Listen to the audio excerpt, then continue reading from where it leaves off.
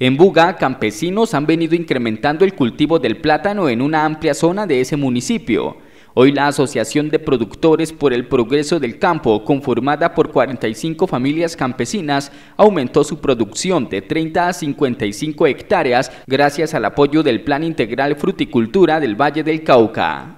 Fuimos beneficiados en ese proyecto con 170 millones de pesos, con, prácticamente con Corpoalle trabajamos la parte de tecnificación, la parte de tecnificación y la, y la, y la parte de, de, de equipamiento. El crecimiento de los pequeños productores de la ciudad señora se debe a la creación de las asociaciones campesinas que se han venido conformando. Los campesinos se apropien, se la crean de que sí pueden ser empresarios del campo, pero que si yo tengo una hectárea solito no puedo, pero que si me asocio, si trabajo así como ustedes, si logramos que se les pueda generar toda la cadena productiva, pues vamos a tener esa empresa que queremos. Empresarios de países como Perú, Holanda, Chile y Brasil han iniciado procesos de compra de alimentos producidos por campesinos de la región.